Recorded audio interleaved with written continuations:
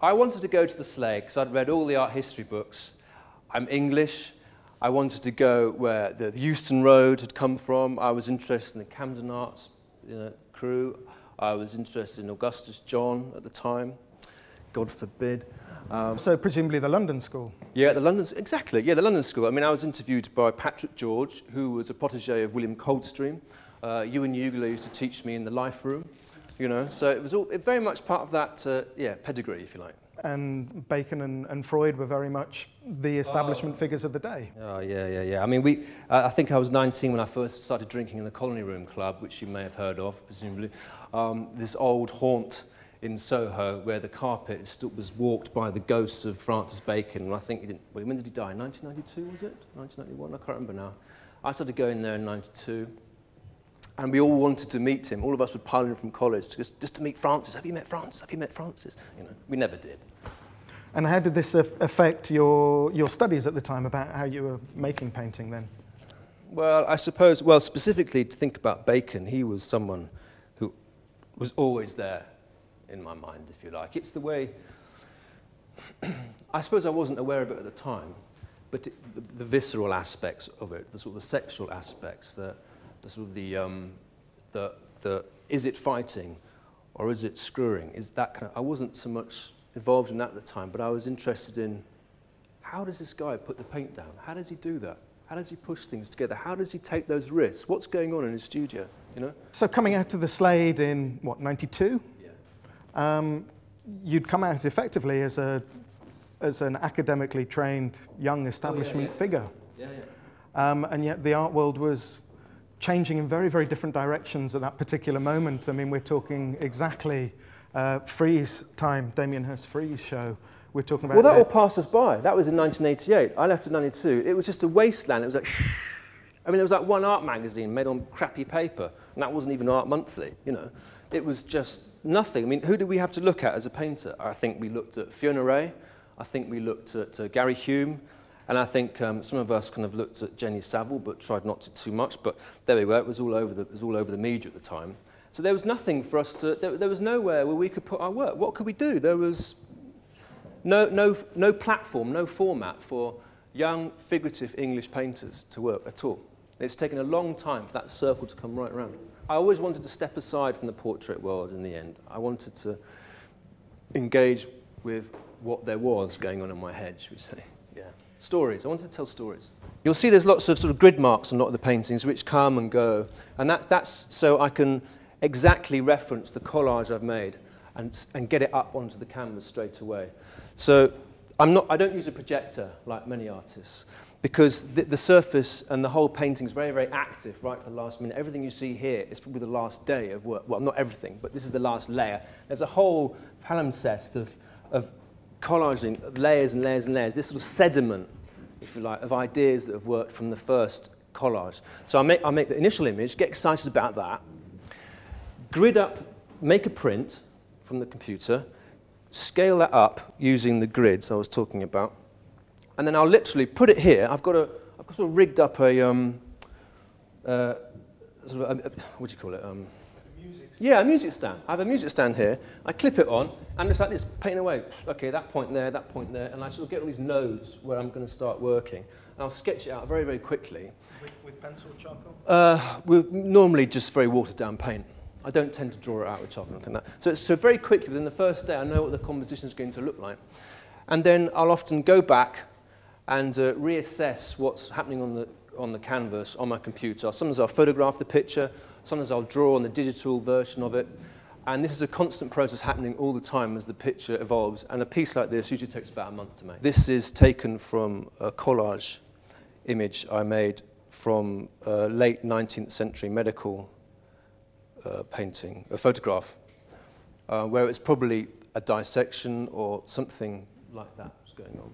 So I've always been drawn to those, that kind of specific imagery, if you like. The first time I saw this particular painting, Crash, yeah.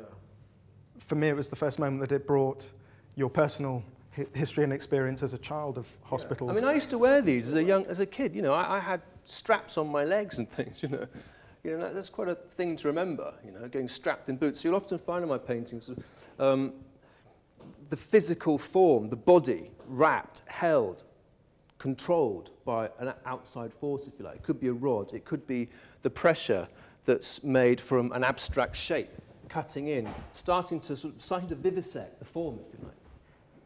This painting here, which is called Perimeter, now, what you see here is a picture of guys with balloons in a dark space. Now, before these balloons came in, this was just a painting, there's a figure here, this wasn't here, blah, blah, blah. And I was waiting for some friends outside the Angus Steakhouse. We weren't going to eat there, I hasten to add, but at Oxford Circus. And um, I had my phone on me. Balloons were blowing outside the shop. And I just took a quick, quick about three snaps of them with the flash. And this, this picture I was having really real issues with. What am I going to put in that's going to electrify the painting? And I just, right at the last, after three weeks of painting, I just bashed in the balloons really quickly, and suddenly it all started to come into play, you know? You've described them as a vehicle for colour and light yeah, in your yeah. pictures. I'd also like to add in that they're a, an obstruction. You are often looking for pictorial devices that are going to obstruct our view of other things within the pictures. Yeah, it's quite important. A few years back, it was dustbin bags that, Yes. were, that were playing that role. Yeah. But recently, I mean, I know you have been through a very dark phase. I mean, literally, there have been Yes. very dark canvases, and you've been increasingly introducing very bright colours. Presumably, the balloons were also a solution. They were a catalyst for, for the colour. They're a very obvious, um, well, they're a very obvious element in the picture. They're a carrier of abstract form, the colour, like I said before, the shapes, the architecture, the volume. And I was trying to work out what, what is it that interests me in this. Uh, Matt mentioned that I've, I've painted a lot of bin liners. I've painted bin liners for 20 years. I've been very interested in that. There's something about the way, the way the plastic is stretching around the object inside. And that's something that brings me back to the caliper I was talking about earlier on, the way that something that holds your body. There's something about the plastic, the balloons or the bin liners. It holds the form. What's happening?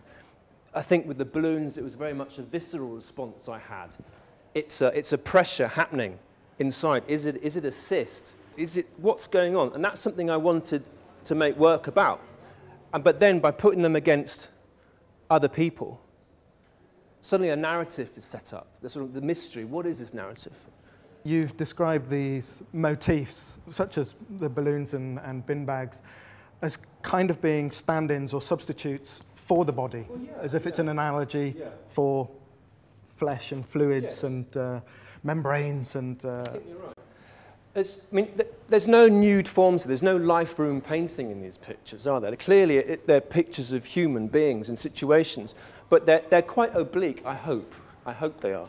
And like you say, for me, uh, the balloons, the skin of the balloon, the plaster is a stand in for that, in the same way that um, on the map painting over there, there's these veins and lines, the, the, the frontiers become this, this interior corporeal reality, if you like. Something that happens very interesting when you start painting. You have to decode the JPEG I'm working from. It's a very low res resolution JPEG.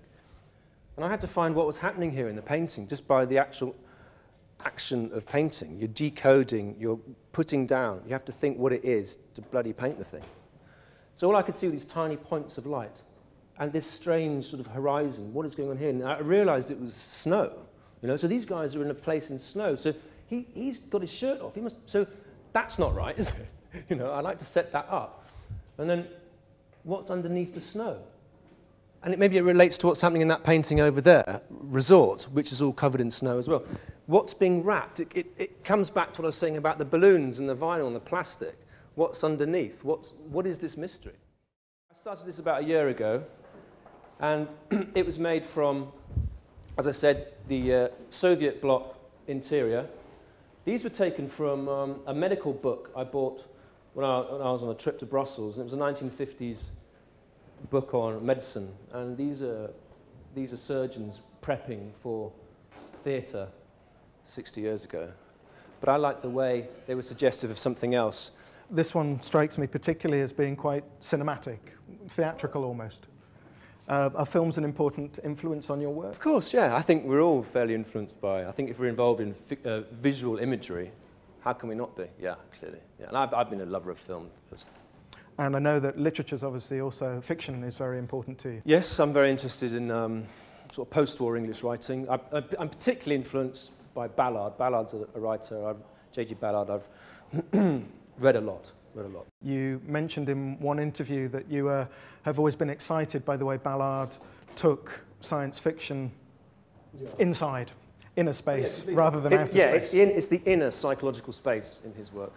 And that's something I suppose I, I, I, I do try to bring in with this work as well. I, whether it's successful or not, I couldn't possibly be the judge. But yes, that's something I learned from. It is my own psychopathology happening here. I mean, you, are, you guys are my shrinks looking at my pictures. This is it. This is, this is it. And that, that's sort of an honesty, if you like, with the engagement of the imagery. Yeah. So it's very, very, very personal from that point of view. The most seductive, which is a strange word, the most seductive sort of photojournalism, if you like, the most sensational, the most, the most famous, if you like, are almost impossible to use. I, I may see um, a photograph of an event, but it might be something that's happening behind that event that I will scan and use. Partly because um, it's someone else's image, and partly because I don't want, I'm, looking for the obscure in that image. Um, and obviously, when I, when I put them and, and push them against other objects, they, they become mine, if you like. Straight away, I was meeting former East German artists. You know? um, we were talking together. We were looking at each other's paintings. Suddenly, there's a dialogue happening. Figurative painters, former Eastern Europe. And this is something that's I've really seen now, more and more.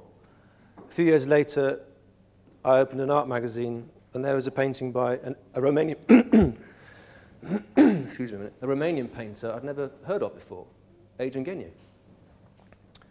And he was painting legs coming out of a box. And I was like, bloody hell, who's doing legs coming out of objects? That's what I'm doing. And uh, well, luckily, since then, uh, we've become friends. And uh, Jane, who I've worked with, and yourself, Matt, introduced me to these guys. And it's been fascinating that the opening up of the former Soviet and Eastern Bloc areas of Europe have brought these classically trained artists, the tradition of the figurative classically trained artists, still existed and probably still does right now. I remember when you uh, did your Master Piper exhibition, which was, I say, obliquely referencing the Yugoslav wars and uh, genocide, ethnic cleansing. Uh, Kosovo springs to mind instantly. Um, I know that at that moment, the Eastern European painters, particularly the, the Romanian painters and the, the Cluj school, were instantly fascinated by what you were doing and started taking a lot of note of what you were doing at that point because you were kind of painting about Eastern Europe. Yeah, what right did I have? You know, what, why is this English guy, this soft lad, painting about stuff we kind of own? You know, that, that's our history. Those are our legends. But for me, it was it wasn't about their particular legend. It was about just humanity in its whole, if you like. I'm part of humanity. I see what's going on. I want to make work about it. So from that point of view, I felt valid. Now, Resort for me is one of the, the most uh, whimsical, almost uh, surreal, reverie-like works that you've made in a long time. Most of the paintings you create have very real three-dimensional space in. There are often twists and schisms and ruptures within your spatial organization, but this for me is teetering on the brink of, of, of floating away. Of collapse. Yeah. It's, it's a conflict I always have. I'm a realist painter, but I also want to you know, ram in abstract elements because I'm not, I don't want to paint photographs. I'm not a photorealist. I'll leave that to the photorealist, you know. So I, I want to engage in something that's just exciting, just from the point of view that is a piece of art how can I make it exciting for myself? And for that, it often means that, uh, that the illusionistic element, if you like, sometimes starts to fail. But in fact, for me, that is a boon. That is what is the trigger that gets things really interesting. It's, we all know what a chair on a floor and a shadow and a spatial reality is like. We understand that. As a figurative painter, I need to somehow break down those assumptions of realism, if you like. Otherwise, I'd be bored sideways, and I'd, I'll just show my collages, if you like. I'll just show my source material somehow I've got to make these paintings alive. And that sometimes it gets that point of just starting to fail, and that's when it gets interesting. You know, it's like it's like a sort of a piece of music, you know, that starts to sound really, really bad, but but that bad bit makes everything else around it sound really fantastic. Huh?